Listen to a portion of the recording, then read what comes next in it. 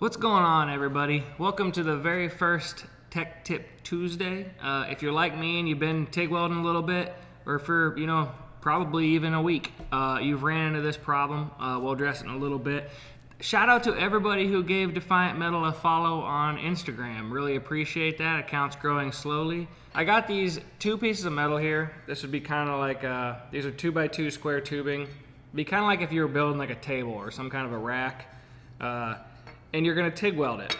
One of the problems with TIG welding is if you cut something and it's not quite straight or it's not quite long enough, uh, and you end up with a gap, it's a little bit harder to weld it up than if it was if you were just MIG welding it. So today we're gonna go over how I would fill a gap similar to this. Now, as you can see, both of these pieces are pretty rusty. They've been sitting around in my garage for a little while. Uh, it was long, one long piece. I cut it up for this video. So the first thing I'm gonna do is clean them up. I just got one red 3M Scotch-Brite disc right here, and I'm just gonna clean all this rust off all these.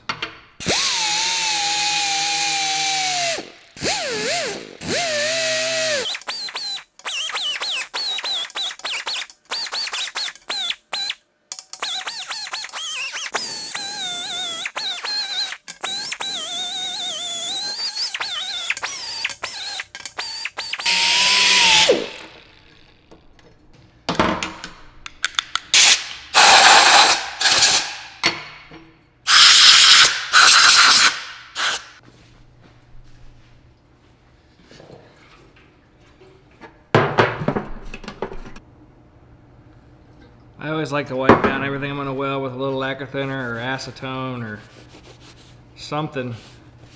Something just to make sure it's clean, especially where you're gonna be welding. I mean, see, so there's something on it. Even if it looks clean, I'll even do my filler rod.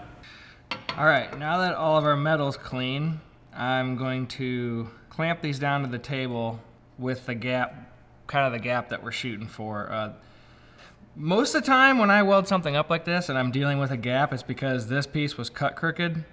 You know, like the saw kind of went down a little crooked or something, so you'll end up with something like, more something like this, where you have contact on one side and a gap on the other side, but everything is actually square with each other.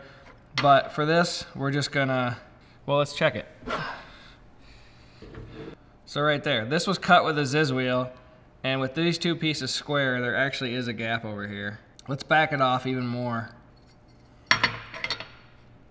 See that? It's almost touching over here now, and a pretty good sized gap over here. We'll clamp it right there.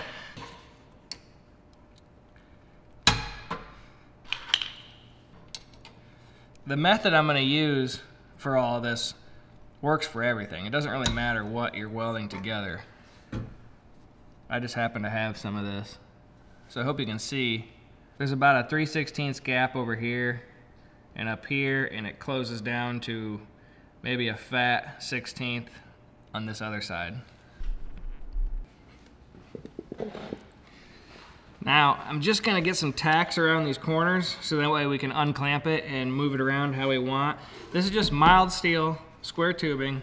So I have some ER70 filler wire here.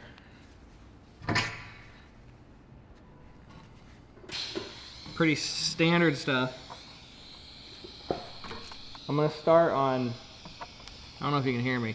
I'm gonna start on this side because this is a good solid coming into the side of the material where this is an end. This side is more easily probably gonna burn out versus this. So I'm gonna start building up a little bit of material here, then jump over to here and build up some material and then jump back over to here and try and bridge this gap with a good tack weld.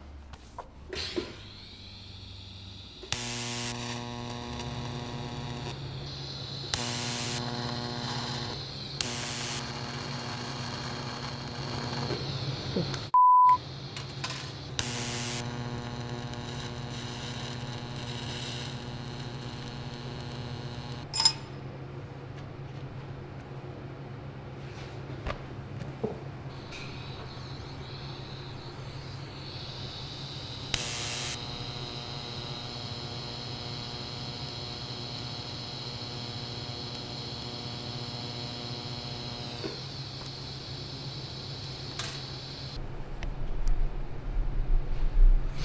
Okay, so I just had something interesting happen. Um, I don't know if you could see on that first weld, it was like a lot of popping and a little bit of sparking, almost like it didn't even have any gas in it. So if you can see the one on the right, how bad it looks, and the one on the left looks like it should, well, that was because of a collet in here.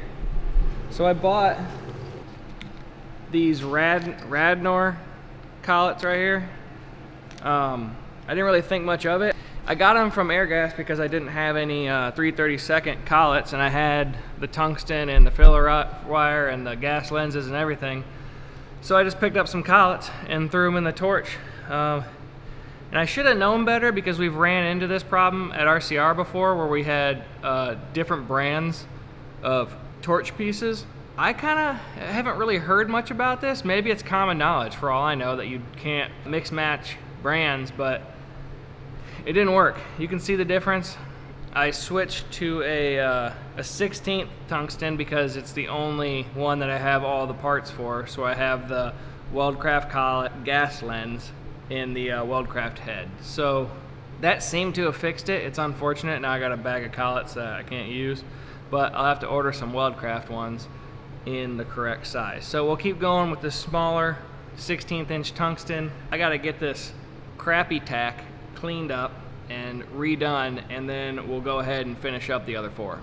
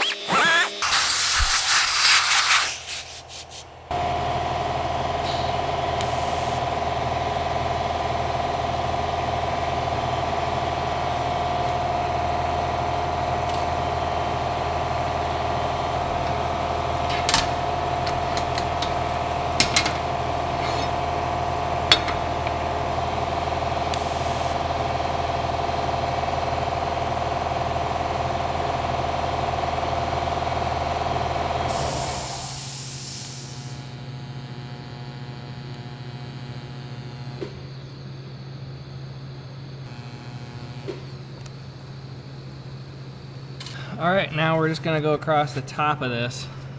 And I don't know what this method is called or if this is the correct way to do it. I call it putting little teeth across the gap.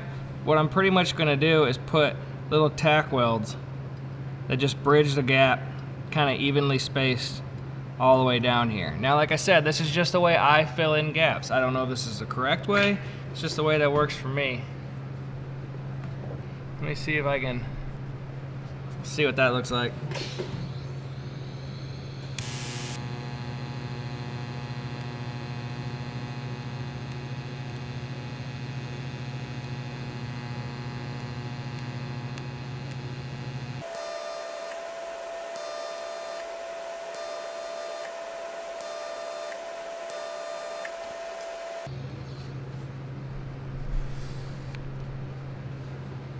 I'm gonna flip this over and try and get a better shot at it with the camera so you can actually see what I'm doing.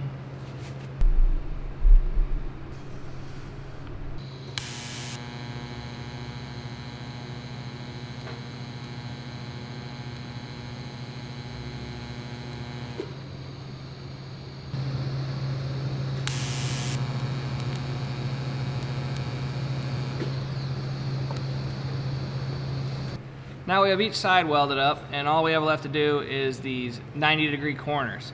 Some of these have actually cracked down the center, but that doesn't matter. We're just really looking for the material there. You can see this side is a little bit bigger than this side. Not sure if you can see it. I'm sure it's camera's probably trying to focus on my face, but uh, yeah, let's get these tacked up.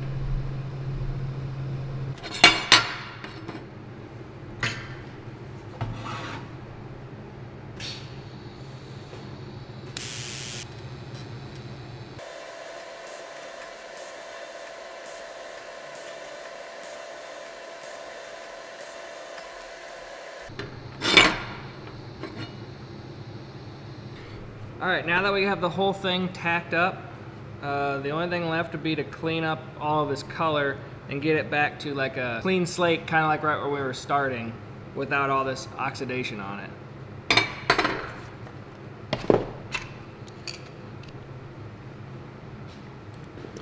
For that, I'm gonna start with this wire wheel because it is still kind of warm and uh, it won't bother won't bother this wheel like it would that Scotch-Brite. It'd probably burn up the Scotch-Brite.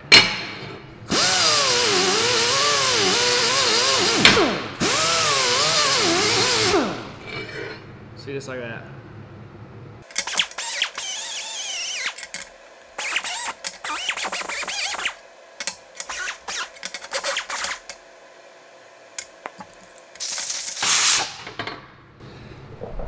So, after getting it all tacked up, uh, see the gap doesn't look so bad anymore. This might be a scenario where you would actually do a weave weld and go back and forth and maybe wouldn't even have needed these little teeth. Uh, I have no idea. I've never tried that technique, so if I ever if I ever do mess with that and that is better, well, let me know if you do that, how you would bridge a gap, and uh, and I'll try it sometime. But for now, we're gonna we're gonna go with this. We tacked it all together all the way around, and then now we're just gonna weld it up. So before we start, I did grab a new piece of filler rod. This one's getting a little short, and I grabbed a new one. I hope you can see that it's still the same gold brassy color as this one on the end. Uh, but I took some Scotch-Brite and cleaned all the way down this because it's been sitting in my cart over there and it was rusty. So I just took some red hand Scotch-Brite and cleaned it all off and got all the rust off of it and then cleaned the whole thing with some lacquer thinner. Let me, this is what actually came off of all that. So that's why I'm saying it's important to always wipe down even your filler rod because if you don't get this off of there, it's going into your weld. I'm gonna start with this little short one anyway.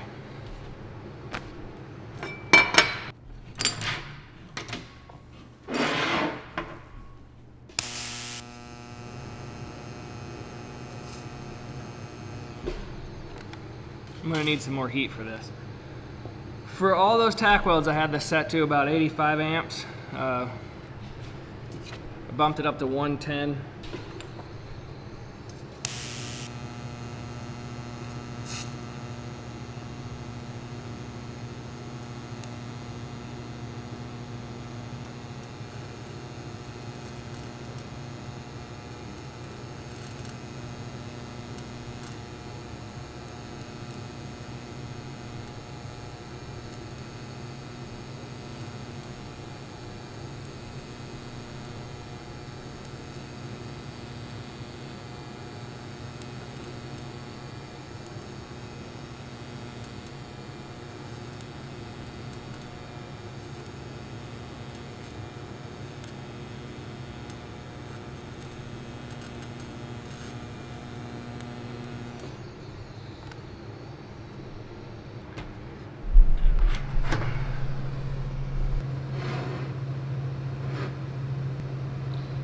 All right, let's put on your welding hood.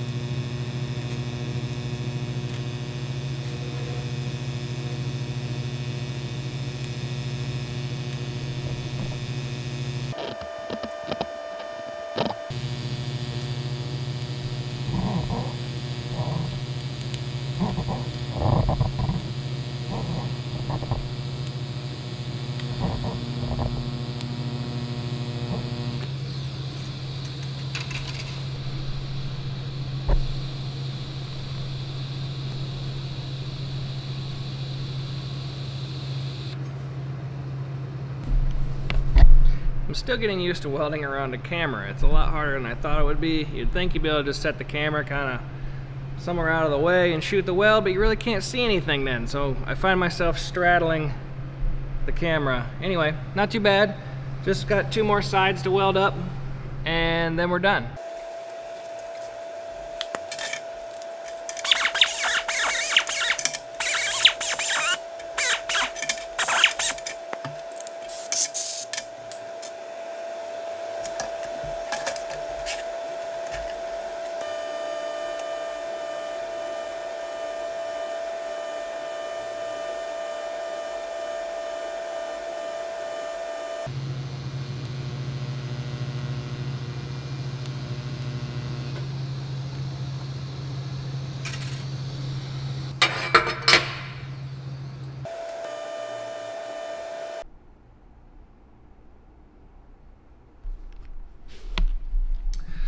Well, there you have it, guys. Uh, you can barely even tell, or really can't tell, that there was ever even a gap there. So if you ever find yourself coming across and you're running up to a spot and there's just too big of a gap and you don't know what to do, that's the technique I use. I build little bridges spaced out all the way across, clean it back up, and then weld it up. I've used it a bunch, especially if something gets messed up or something doesn't quite fit right. It happens a lot when you're welding like a maybe a machine piece to a fabricated piece, you know, and the, those tolerances, there's a little wiggle room there and you got to fit it up or something, or maybe there's a big gap. Anyway, this is just one technique. It's just the one I use, the one I've used a bunch in the past. I'm definitely going to be exploring more ways to weld up a gap, uh, TIG welding, that is and maybe even MIG welding in the future if we ever get a MIG welder in the shop. But anyway, I hope you'll subscribe if you're not already, and I'll see you all in the next one.